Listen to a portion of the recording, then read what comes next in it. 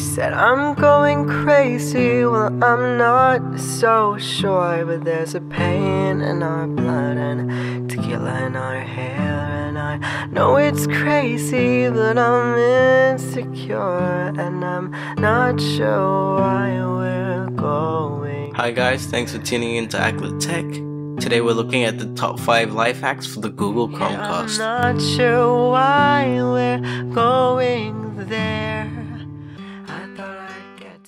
Number 5.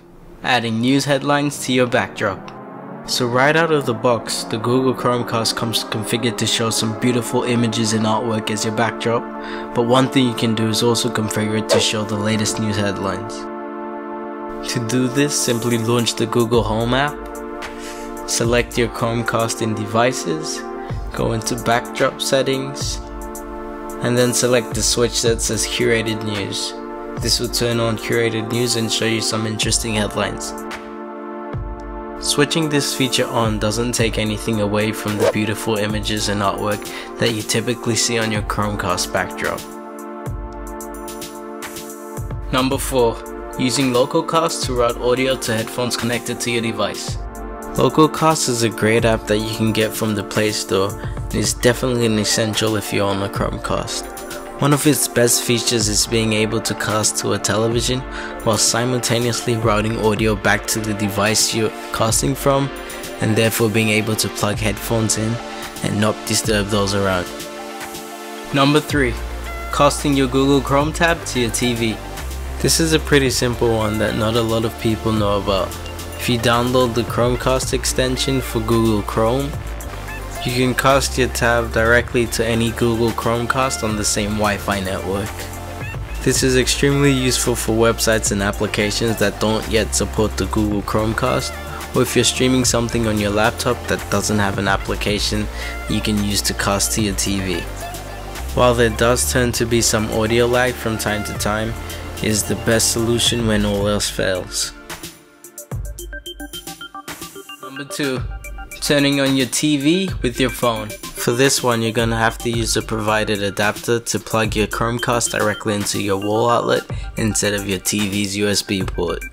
HDMI CEC is a feature found on most modern televisions that allows connected devices to communicate back and forth with your TV, even though each manufacturer calls this something different, such as E-Link, SimpLink, or Aquos Link for my TV. It's easily found and can be enabled in setting. To take advantage of this feature, whilst your TV is off, simply launch any Chromecast supported application, select the cast icon, then select your Chromecast device. Once selected, your TV will switch on and begin playing what you've casted to it. It automatically switches to the correct input your Chromecast is connected to. This is really convenient and saves you from having to look for that television remote you can never seem to find. Number 1. Controlling your Chromecast with your TV remote. This is another one that makes use of HDMI CEC.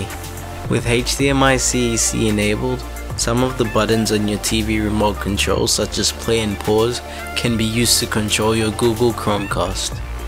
This is a great feature for those times you just can't seem to find your cell phone or when someone else is casting to your Google Chromecast.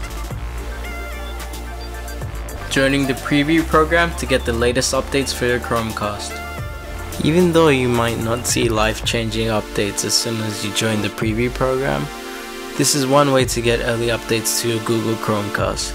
To do this, simply launch the Home app, go into settings, then select the preview program to switch it on.